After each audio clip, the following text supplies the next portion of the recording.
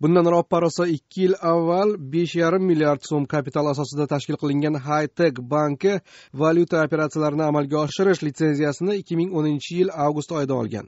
Birinchi fevraldan e'tiboran o'zbekiston markaziy banki bu litsenziyani bekor qildi. Markaziy bank vakili ozodlik bilan o'zaro suhbatda mazkur holat haytek bankining valyuta operatsiyalariga oid amaldagi qonunlarni buzgani sabab bo'lganini ta'kidladi. Shaxsi sir qoldirishni istagan suhbatdosh o'tgan hafta kredit standart bankidan ham ayni litsenziyaning olib qo'yilganiga ayni holat sabab bo'lgan deya ma'lum qildi.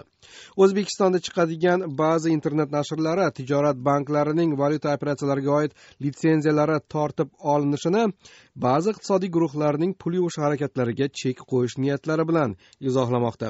O'zmetronom com nashrining yozishicha o'zbekistonda pul yuvish bilan asosan hokimiyat yuqori doiralariga yaqin guruhlar shug'ullanadi va hozir bunga chek qo'yish urinishlari kuchaymoqda. Markaziy bank vakili bu iddaolarni mutlaqo inkor qildi. Bizda pul yuvish holatlari deyarli yo'q dedi suhbatdoshimiz.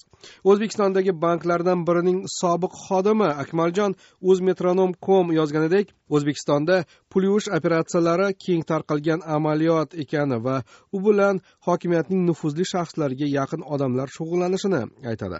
Lekin akmaljon tijorat banklarining valyuta operatsiyalariga oid litsenziyalari bekor qilinishining pul yuvishga aloqasi yo'q deydi. Chunki deydi suhbatdoshimiz o'zbekiston misolidagi pul yuvish ya'ni valyutani xorijga olib chiqish bilan shug'ullanadigan shaxslar shunchalik nufuzliki ularning yo'lini to'sish markaziy bank vakolatida emas. Bu narsa davlatni izni bilan bo'ladi o'sha davlatni ruxsati bilan bo'ladi. O'sha o'sha hukumat shu narsalarni bilganligi uchun ham o'sha o'zbekistonda har xil uch xil bir valyuta kurslari bor. Shu sababdan bor. Markaziy bank kurslari bor yo bo'lmasa endi o'zbekistonda kurslar ham har xil turi bor endi. Uni o'zingizdan bilasiz ana o'sha kurslar orqali xorijiy valyutaga aylantirib keyin o'tkazishadi. Hmm. bundan albatta foyda ko'radigan odamlar bor o'zbekistonda valyuta operatsiyalari qanday amalga oshirilishidan bevosita xabardor bo'lgan suhbatdoshimiz hatto mamlakatda ishlayotgan xorijiy shirkatlar ham hokimiyatdagi ma'lum guruhlar iznisiz o'ziga tegishli valyutani olib chiqib keta olmaydi deydi.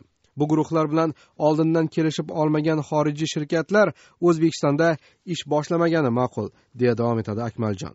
Bu xorijiy shirkatlar bu kelishidan oldin mana siz aytganingiz mana demoqchida siz hozir xorijiy shirkatlar o'zbekistonga keladi keyin o'ziga bir e, homiy qidiradi yo'q. Ular oldin homiyni topadi. Ana o'sha shartlarni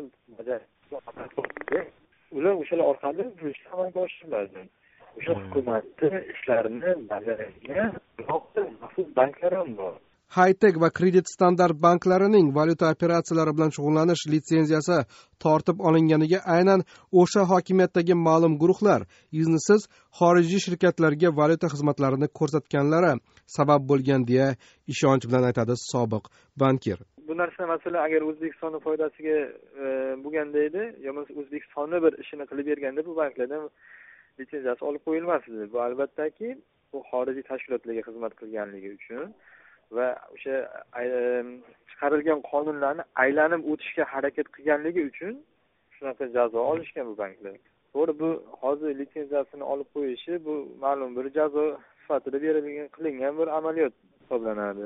Deydi o'zbekistondagi banklardan birining sobiq xodimi. Sobiq